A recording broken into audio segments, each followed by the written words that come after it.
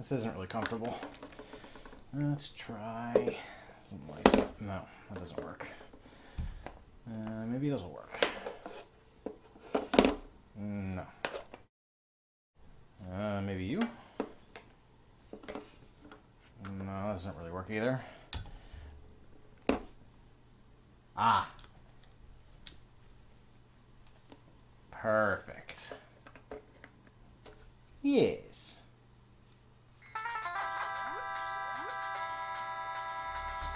Hi, and welcome to another episode of General Nerdery. Today I'm going to show you how to do that. Both those things. In other words, how to control emulated games on your Android with a Wiimote, and also how to make a cell phone prop that you can fit inside your wallet. Alright, so the first thing you want to do is go to the marketplace and download Wiimote Controller. This app allows you to pair your Wiimote with your Android phone via Bluetooth.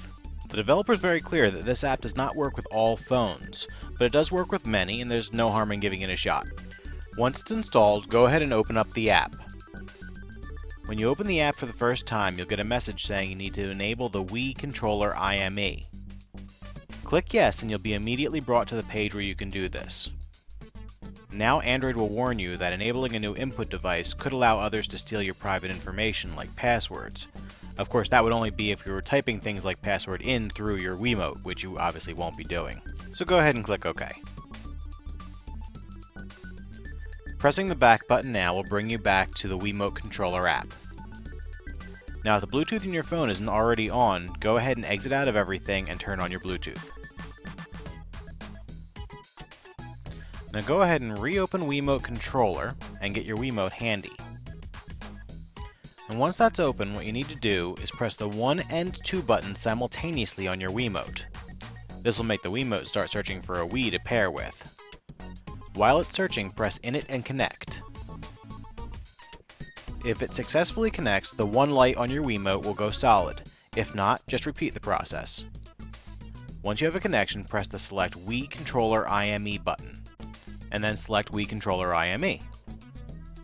Now go into the app preferences by pressing the menu button. Once there, check the Switch After Disconnect option, and then select your default keyboard under Target Keyboard.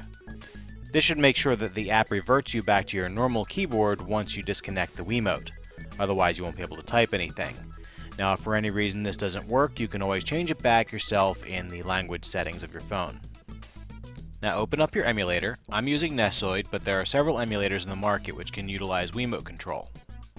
Press the menu button and enter Settings, and then select Other Settings. Scroll down to the bottom and check Use Input Method. I already have that checked here. Now go back to the previous screen and select Input Settings. Now uncheck Virtual Keypad. I already have that done here as well. Select Key Mappings. In this menu, you assign the various buttons on the Wiimote so that they act like their Nintendo controller equivalents. Simply select the button command from the list and then press the corresponding button on the Wiimote.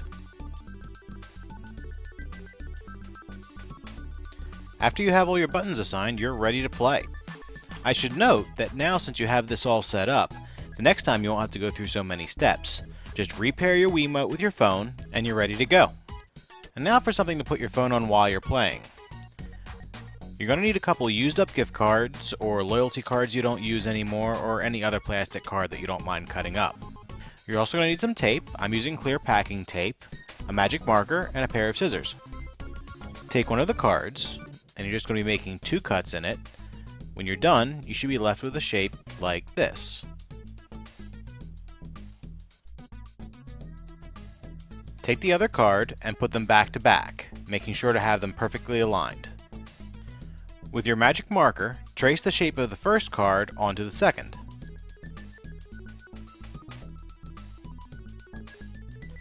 Now cut your second card, making sure to cut just on the inside of the line so that the two shapes will match each other perfectly. You can also go back and trim a little later if you have to.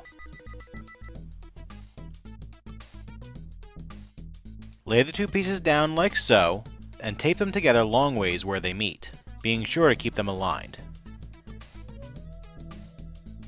Now fold them together so the tape is on the inside. Take another piece of tape and put it along the same seam on the other side.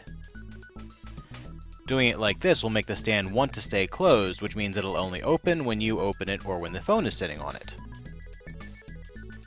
And you have one completed gift card cell phone stand.